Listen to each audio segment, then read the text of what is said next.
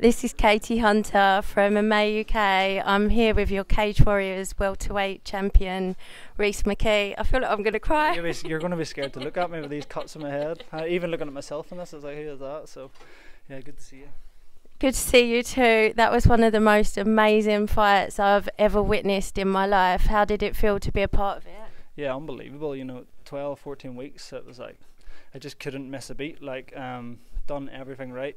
I thought I was doing stuff right my whole career, and then I brought in a nutritionist and, and done funky little things that, that just worked. And like asked my coaches and my team, like I haven't skipped a beat in 14 weeks. You know, everything just got better and better, and, and tonight really shows that. Like sometimes you think a fight camp can't go perfect. A fight camp just went perfect, and the fight went even better. Maybe not perfect, but it went well. Do you feel like you really stepped it up in this camp? Then you feel like you just found another level. Um, like I've developed so much since I came out of the UFC, like mindset wise. Um, you know, I have a lot of experience, a lot of uh, stuff went on like through that, and a lot of like soul searching. Not to sound too, um, uh, whatever you call it, but I just done a lot of deep diving into my mind, and like I'm just such a stronger person now, and yeah. I feel like I'm 35 instead of 26. Do you know what I mean? It's I just developed so much. And talk to me about the fight. Like the momentum was swinging one way and the next, and it was just, it was.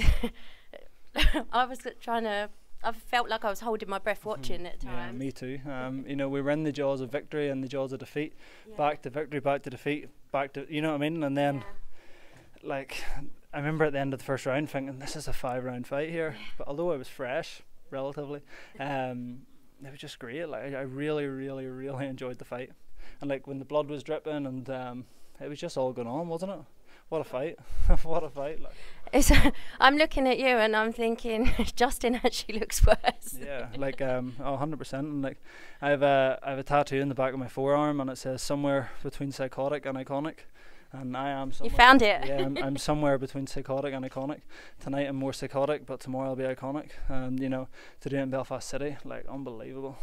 Talk to me about the crowd. It was just it it didn't feel like a Cage Warriors event. It felt like a UFC main event. It felt like a Rhys McKee show. That's yeah, exactly what it felt like. Um, listen, and I was a kid and I was 15. I walked into Rodney's in Ballymena. I remember my dad uh, took me to Rodney's and said, "This guy's going to look after you." And um, fuck, here we are, 12 years later, and like it's just I'm going to get emotional, but um, just unbelievable. Like it's, it's so it's so fucking it means so much to me, and and to Rod and all the team and my dad, like it's unbelievable, and it's like, yeah, this is just this is just a bit of metal, but like it's a signify of the hard work and.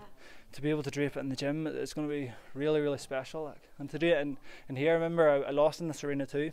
Uh, broken orbital, went to hospital that night too um, to come like it's just oh, fuck, it's just so good. Like it's gonna just be unbelievable for for the rest of my life. Like this could be the night of my career forever, despite where I go.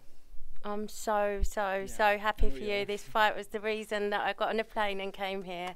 I had to see you collect that gold, and you just put on the performance of a lifetime. Yeah, like really, you have to kill me to get me out of there. Like Oh, it's just unbelievable. That's going to be hard to top. And listen, big respect to Justin and, and the TFT. He was amazing as well. And you know what? He's such a stud. It was the first time I met him a few weeks ago, him and his girlfriend Lauren, I believe. And, you know, I didn't think that would bother me too much because I believe I'm a nice guy. But, um, like, he was a real nice guy. And, like, I was actually thinking about him a lot this week. And um, I have so much respect for him and his team. And, you know, it didn't make it any harder to punch him, but like it made him a bit harder to see him upset because yeah. could listen. It could that was me. awful. It could have been me if two and a half minutes ago I didn't do something or didn't listen to them. Yeah. So, uh, listen, it's very real. I could have lost as easily, could have won, but yeah. I mean, you would rather kill me. Absolutely phenomenal. Thank you so much for your time. You are the champion. Yes, thank you so much.